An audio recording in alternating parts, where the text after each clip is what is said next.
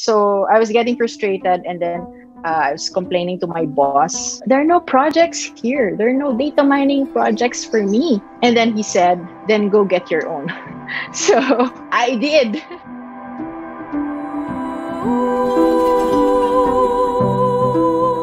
People were in fact warning me, you know, the, that, you know, if you move to the, the Spain office, um, you might not get a chance to be promoted. That's not really a concern for me because I just wanted to do what I was doing. Because of course I was young then, right?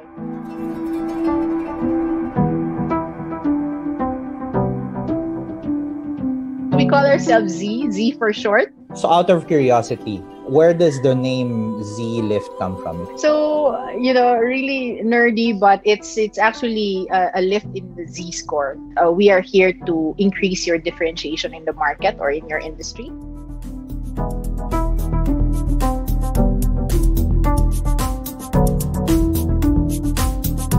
There are different rules, first of all. Do not expect that you will just play one.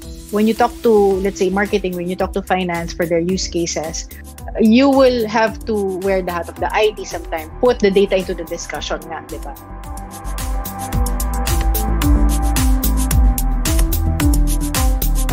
Maybe women in, in tech in general, not just in data science, that they're somehow, um, they feel maybe inferior, maybe they feel that there is, um, they're too late in the game.